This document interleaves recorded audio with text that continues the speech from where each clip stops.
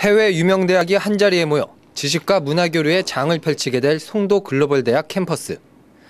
뉴욕 주립대가 지난 3월에 개교한 상태이며 앞으로도 국제적 명성이 높은 대학들이 개교를 앞두고 있어 우수 외국 대학 공동 캠퍼스라는 이 새로운 개념에 전 세계가 주목하고 있는 상황입니다. 현재 송도 글로벌 대학 캠퍼스는 2단계로 나뉘어 조성되고 있으며 지난 20일 제1단계 사업이 마무리돼 준공식이 개최됐습니다.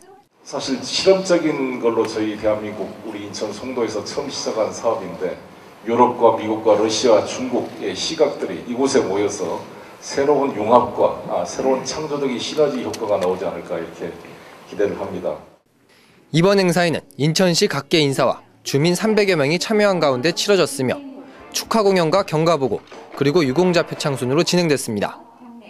인천시는 현재 이 사업이 인천의 우수한 교육 시스템을 국내외에 알릴 수 있는 계기가 될 것으로 기대하고 있으며 송도에 자리 잡은 글로벌 기업과 국제기구에 우수한 교육 환경을 제공할 수 있는 기회가 될 것으로 예상하고 있습니다. 민트TV 뉴스 오병민입니다.